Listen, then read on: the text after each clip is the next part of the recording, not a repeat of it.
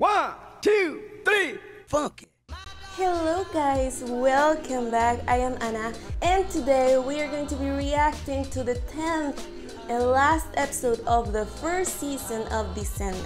Now I know there are there is a double episode, kind of a special bonus thing in Netflix. Not sure yet if I'm gonna be reacting to that, but I am really excited to finish this season. So let's jump right in and let's see what's going to happen with the Corinthian, with Rose, with the Dreaming, with with every fucking body. let's go. I'm not gonna hurt you. You just killed that man. I just saved your life. Again. You think he's watching you so he can protect you? He's watching you because the minute you fall asleep and start bringing the walls down between people's dreams, he's gonna kill you. But if someone protected you, kept him from killing you, well, then you'd become the center of the dreaming. I'll tell you what. This is your room. You can have both keys. I'll come back in an hour. I'll knock. If you want, you can let me in. If not, I'll go away. But lock the door when I leave. Because you never know. Oh, the illusion of having a choice. is proof, at least to me, that dreams do come true. We are the American dreamers, driving down the holy road of true knowledge that's paved with blood and gold. We are hunters, soldiers of fortune,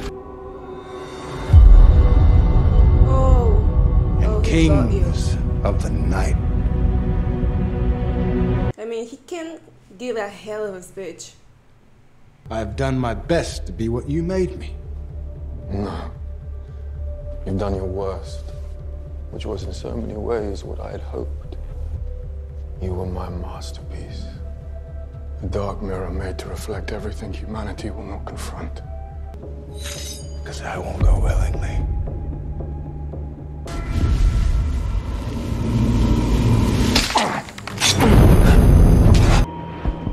I've got Rose Walker getting stronger every second while you get weaker. She's bringing the walls down between the sleepers' minds. Your world, everything, and everyone will die. Don't believe him, Rosie. It's happened before. If I'm as powerful as you say I am, then I will find my own way. In the meantime, the walls go back up. Because I'm not dreaming anymore. Do you know why I do it?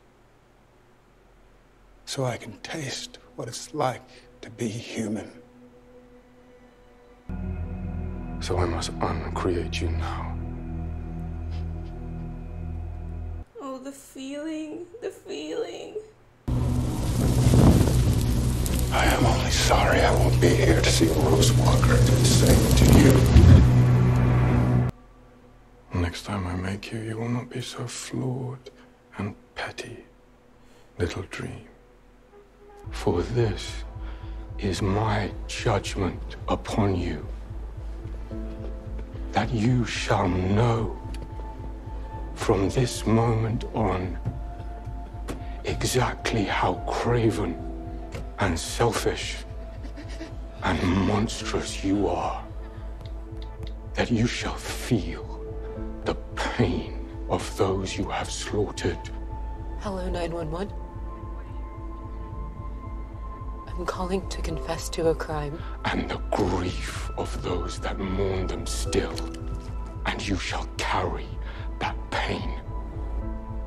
grief and guilt with you until the end of time. Tonight, when she sleeps, I will find her. And we will end this. Is that a real spider? It used to be. We have a vast collection of arachnid taxidermy. If you'd like to see. Hey. Is there anyone we should call? Lyta's family? Or the baby's daddy, whoever it is. I, you don't have to tell us. Oh, Who is he? it's. I often wonder what my life would have been like had I not slept through it. Would I have had a family? And what must that be like? Once you and Jed get here, I won't have to wonder anymore. If you have the power to destroy the world, then you have the power to destroy him. I don't want to destroy him. When you go to sleep tonight, you have to find him and end this. It's up to you, Rose. Wherever we go, whatever we do. Ken? What are you doing at the place of Lost Carnadine? Oh, shit.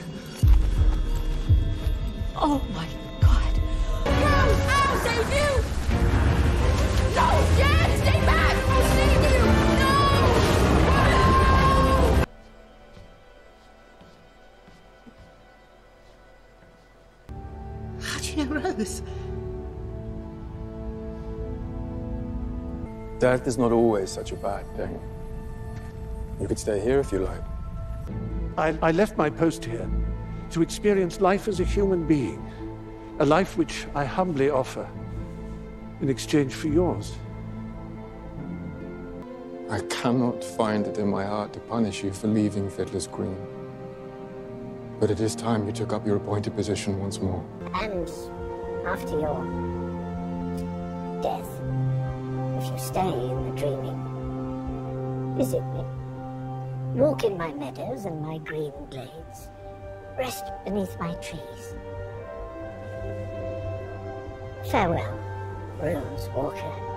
It was a privilege being human with you.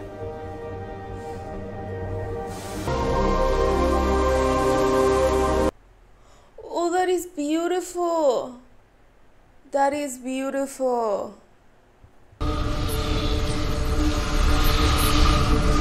Am Rose's great grandmother. And according to this book, I was meant to be the vortex of this age.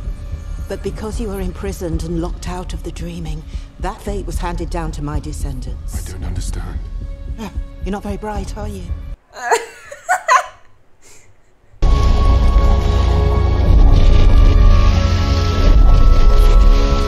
what happens? You died so that Rose might live. I was meant to have died a long time ago, Rose. But if I had, I would never have met my golden eyed man. And we would never have had our beautiful baby girl, and you would not have been born. Wait, the father of your child had golden eyes. I've never seen anything like them. I have. You and your brother are children of the Endless. You have suffered enough. You may leave this place. Goodbye, Rose. Oh, I have so many questions. You ever notice how people only ever use your name when you're in trouble? Rose. That's true, actually. Uh, it's uh, one at a time. What? Oh, come, babe. Babe, it was just a dream. Don't know. I had this dream last night, and now I'm thinking, what if I sell the house, and move back? We'll buy the house. What did you truly intend? That I should spill family blood? With all that would entail? This time, it almost worked. My sibling. Forget you are family. Do you believe yourself strong enough to stand against me? Oh, poor dream. I really got under your skin this time, didn't I?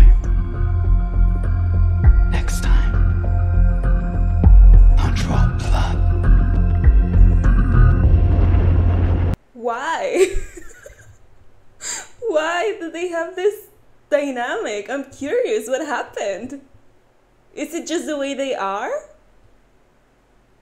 A new book appeared in the library this morning, written by Rose Walker. And how is it? You may take issue with the depiction of the king in the story, but I loved it. Oh. The world does not need a new Corinthian quite yet. You not wish to say hello?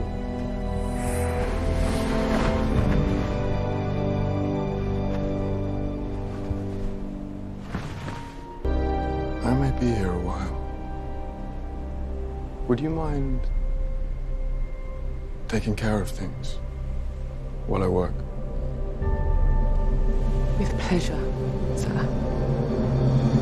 The armies of hell are yours to command, should you wish to strike. You wish to invade the dreaming, If you command it. and then perhaps the waking world.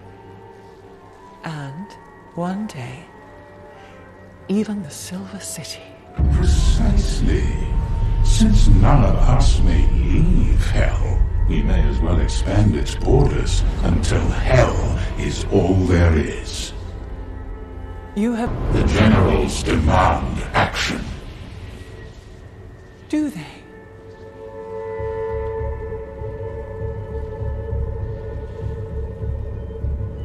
Then I shall act. What are you going to do?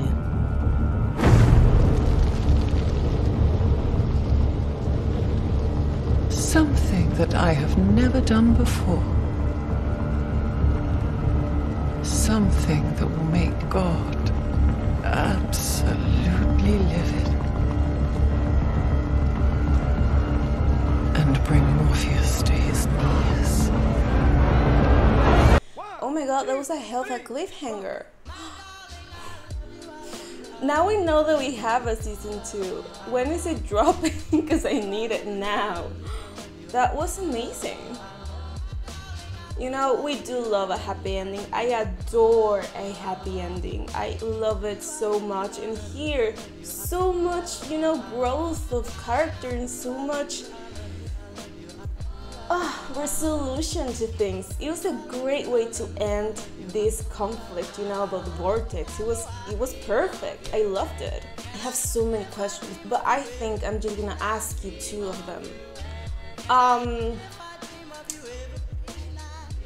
does he ever actually claim Lila's baby? You know, he said that it was conceived in the dreaming and that he could and would take it because it was his. And also, um, what does it mean to be a child of the endless? The way that he called um, Rose and Jed. I, I, I don't know. I'm, I'm, I'm processing. I'm still processing. But are there more children of the endless? This was such a good show. Honestly, I enjoyed every single minute of it. Tell me in the comments if you want me to react to the extra bonus episode that they have on Netflix. Um, I would be up for it. Absolutely. Well, guys, this was it for today's video and for uh, the show so far. I am waiting for the second season. Um, let me know how you like this and let me know what you think I should react to next. Thank you very much for joining me. Have a great day and I'll be seeing you around.